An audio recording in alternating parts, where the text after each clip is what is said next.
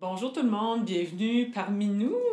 On est euh, dans un merveilleux espace. Je suis en compagnie de Sylvie Olivier, fondatrice de Golden Art Wisdom avec son conjoint Bernard Terrien. Et Suzy Villeneuve, que vous connaissez sûrement. Suzy, euh, bienvenue.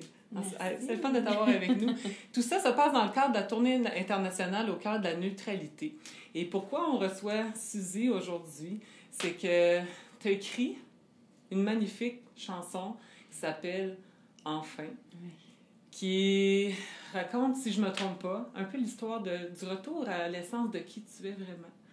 Ben oui, complètement. En fait, euh, ça raconte, c'est c'est drôle parce que la musique pour moi c'était complètement fermé, c'était complètement euh, derrière moi. C'est comme ça que je le sentais, c'est comme ça que je le voyais.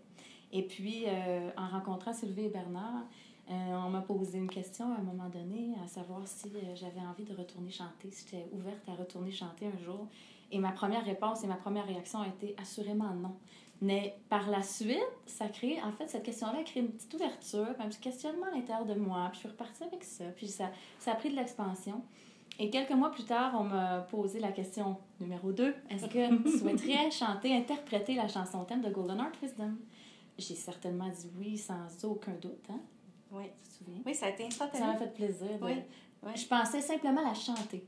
Pour moi, c'est l'interprétation. J'avais accepté l'interprétation. Et puis là, retournant à la maison encore et continuant à prendre de l'expansion et de, et de, de, de, de, ressentir la musique, je me suis mis à me dire, ouais, je pourrais peut-être l'écrire, la chanson.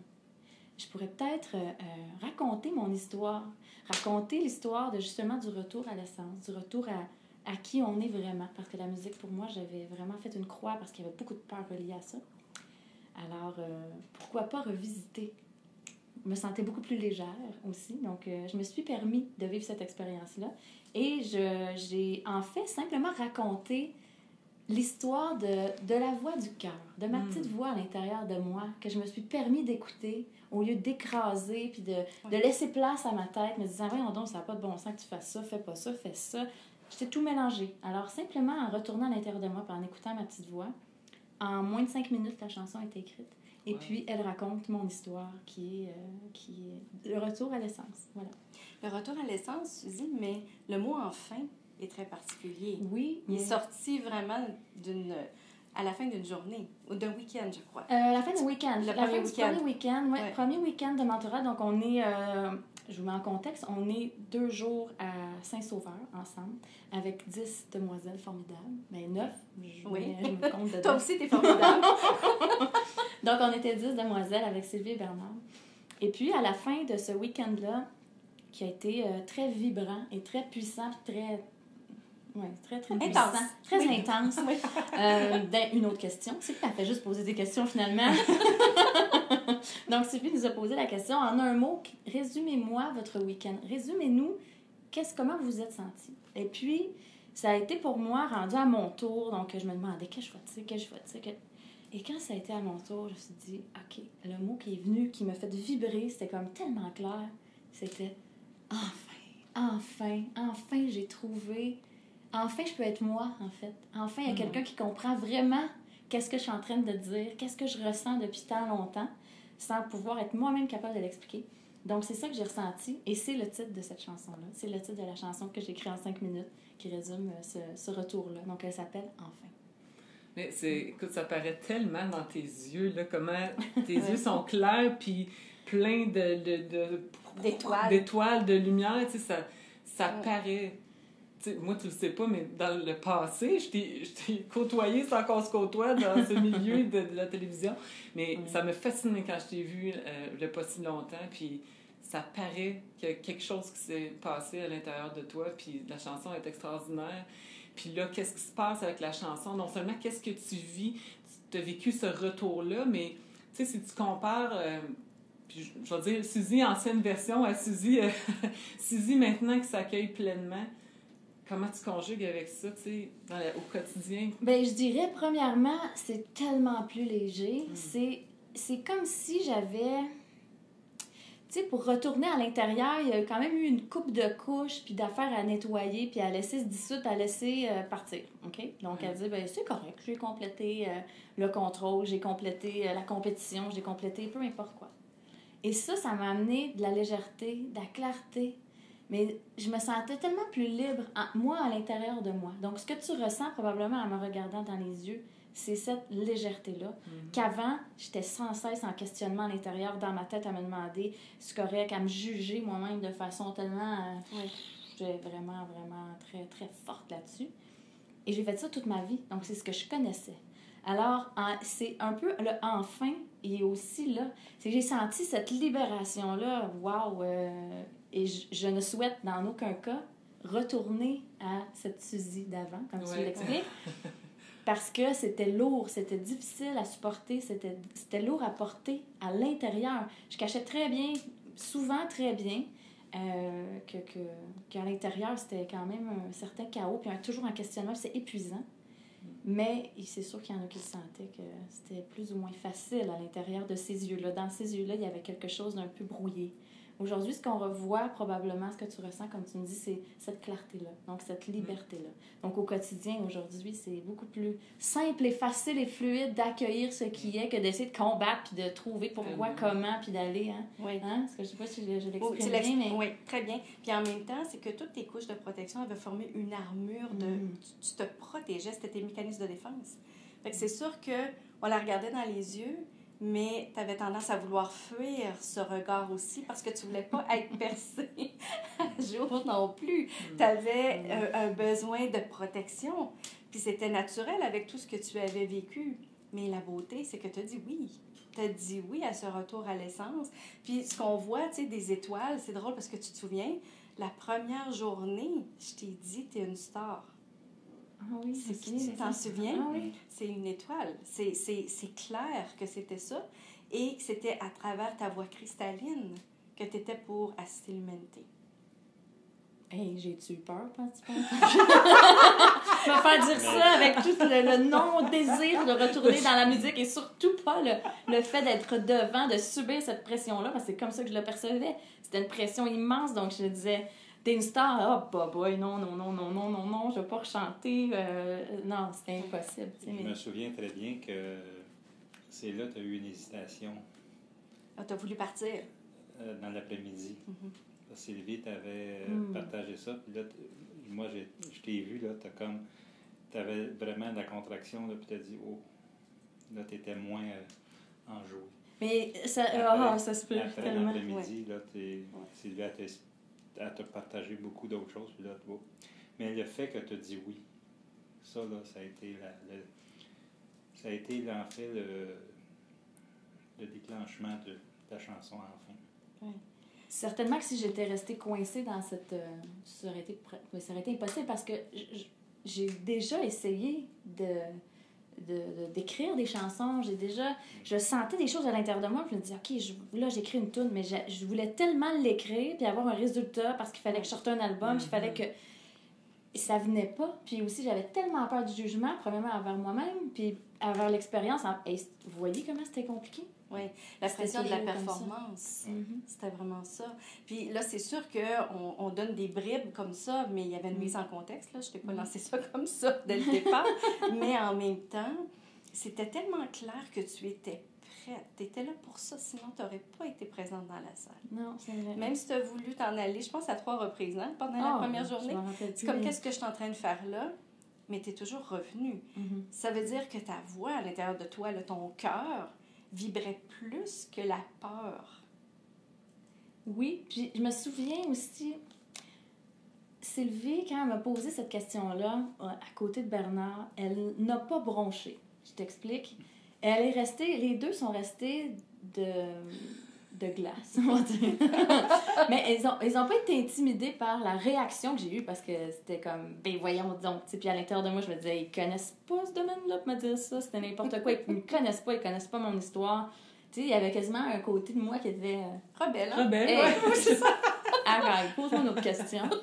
Mais cette, cette solidité-là euh, m'a fait tellement douter de ce que je suis en train de penser à l'intérieur que je fais OK, C'est ben t'as vu quelque chose, là, il se passe quelque chose là. Puis, mais je le sentais aussi au fond de moi. Ouais. C'était pas aussi clair comme ça au début, mais c'est c'est ce qui fait en sorte que j'étais pas en mesure ben, de m'en aller la première journée, mais l'heure du dîner a été pour moi très douloureuse. Euh, je, me, ah, je voulais m'en aller, je voulais m'en aller, mais je peux pas partir, je peux pas partir. C'était un gros combat à l'intérieur. Ouais. Ouais. Mais je suis contente tellement euh, de- d'être restée, d'avoir fait le choix de dire oui, puis comme tu Mm. dis, comme vous dites, Mm. d'avoir plongé dans un total euh, trou inconnu. C'est comme ça que je le vois. Wow. C'est un vide. Alors, go. Oui, tellement. hein. Je sais pas comment, mais je ressens vraiment que tu ressens quelque chose. Je ressens quelque chose aussi, je sais pas c'est quoi. Fait que let's go, on y va. fait que j'ai sauté. Ouais.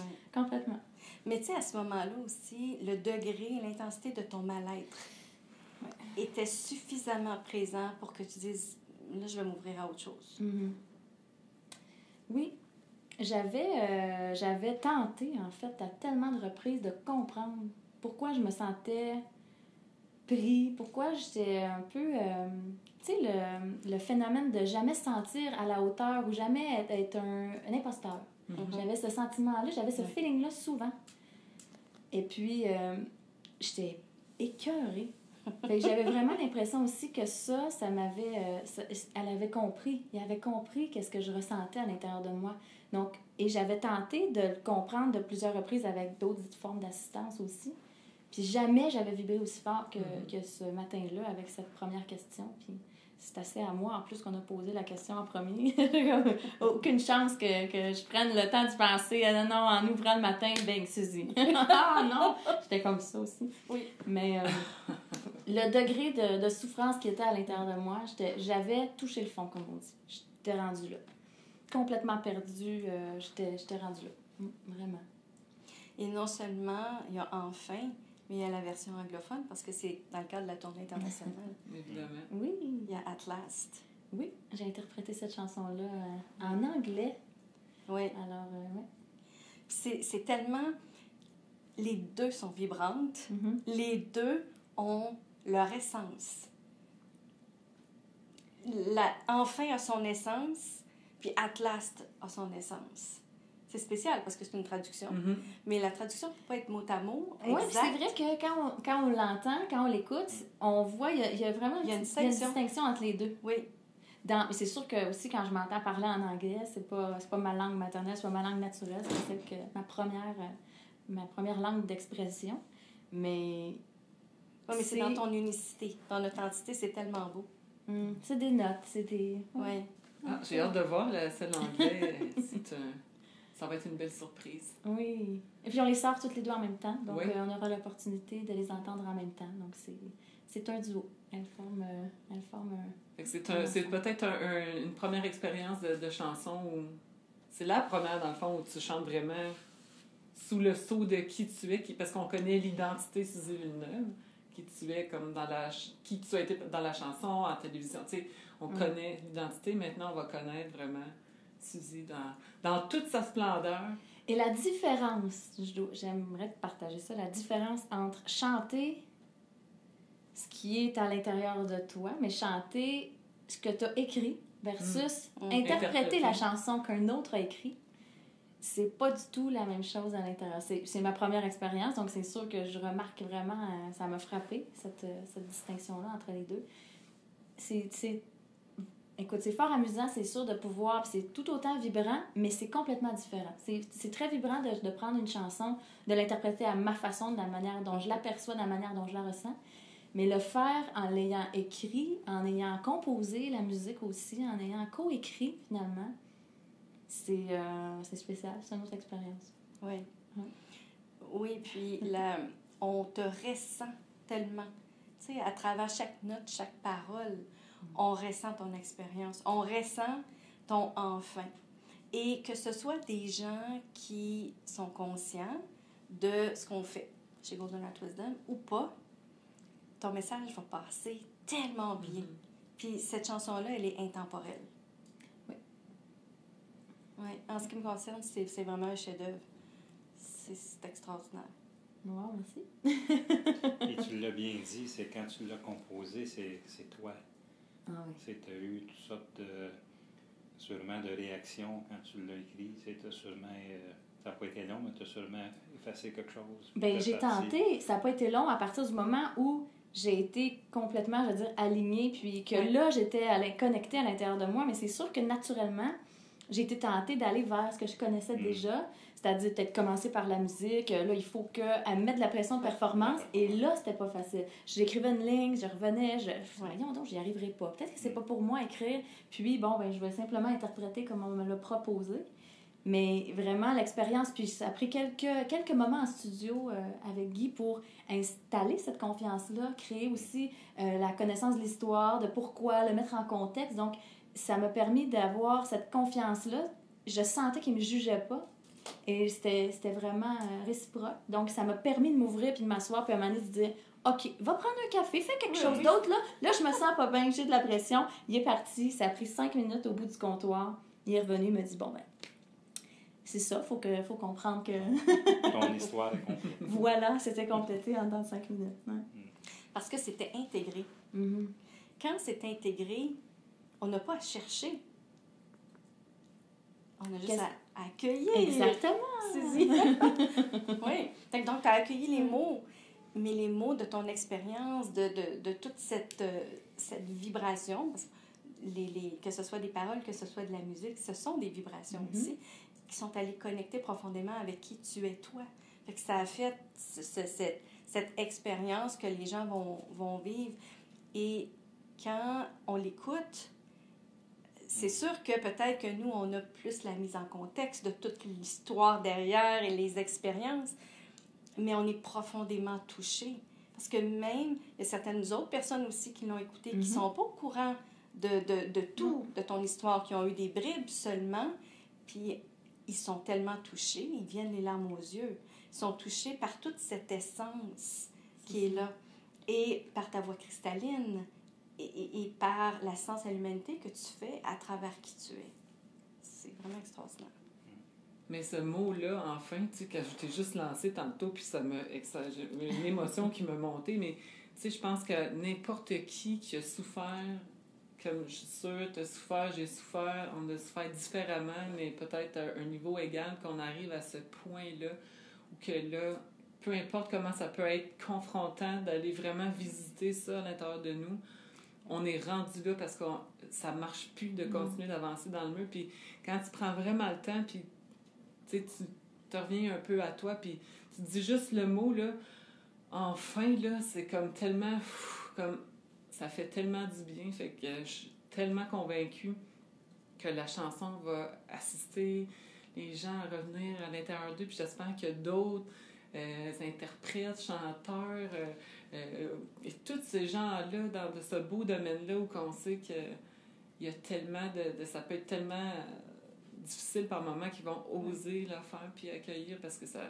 waouh qu'est-ce que ça peut faire t'es un, un beau je veux pas dire modèle mais t'es une belle inspiration je trouve tu sais pour mettre un premier pas là-dedans puis euh, ah, je trouve ça beau mais long- longue vie à, à enfin vraiment La beauté aussi, c'est.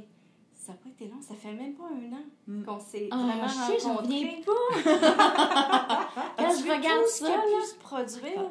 Oui. Oui. Ah oui, il y a un an, parce que bon, au moment où on se parle présentement, il y a un petit. C'est un an presque pile, donc on s'est rencontrés pour la première fois. Et puis, euh, c'était. euh, c'est pas du tout la même personne. Hein? Complètement différent. Ish. Suzy numéro 2. Et ben oui. Mais ton cœur a toujours été présent, on le ressentait tellement, mais tu t'étais créé tellement, comme on parlait tantôt, de moyens de protection pour ne pas le ressentir, pour ne pas trop souffrir, pour arrêter de souffrir. En même temps, ça marchait même pas. Non, ça fonctionne pas, mais c'est, c'est un moyen, Mm. comme un autre, pour tenter de survivre. Puis je m'en rendais compte que c'était difficile parce que bon, j'étais rendue là, comme je, dis tantôt, comme je disais tantôt, mais quand j'ai commencé aussi à aller, à aller voir à l'intérieur, il y a des choses que je m'en étais pas rendu compte. C'est sûr que ça m'a permis de découvrir d'autres trucs. Oh, bah boy, qui était un peu euh, épeurant au, premier, euh, au premier regard, mais que finalement, c'est tellement libérateur. Puis c'est un. Je sais pas comment je pourrais dire ça, mais pas un passage obligé, mais comment on pourrait dire C'est comme pour retourner vraiment à l'intérieur, puis écouter qu'est-ce que le cœur a envie de dire, parce que c'est lui qui vibre, puis il y a juste lui qui a raison finalement. Mais c'est sûr qu'à l'intérieur, c'est, ça peut paraître tellement grand. Puis aujourd'hui, je regarde justement ce, ce, ce parcours-là, cette expérience-là, pas à pas. Puis euh, ce que je ressens plus, c'est l'expansion, la légèreté puis l'ouverture que j'avais tellement pas, qui était tellement prise. Fait que ça vaut vraiment la peine d'aller euh, nettoyer et dissoudre. Hmm. Et de revenir à toi. Oui, voilà. Et de revenir à soi. Mhm. Ben merci, Suzy, euh, fait la plaisir. star, l'étoile. Et vous autres aussi, vous êtes des belles étoiles. Oh, On est tous des étoiles. Oui, Oui. ben oui. Ben merci d'avoir été là. On va suivre avec beaucoup de, de- d'intérêt dans le cœur, l'évolution ou l'expansion le, de cette belle chanson et de tout ce qui va suivre avec ça. Merci. Merci tout le monde. Merci. Merci. On se revoit bientôt. Merci. À bientôt.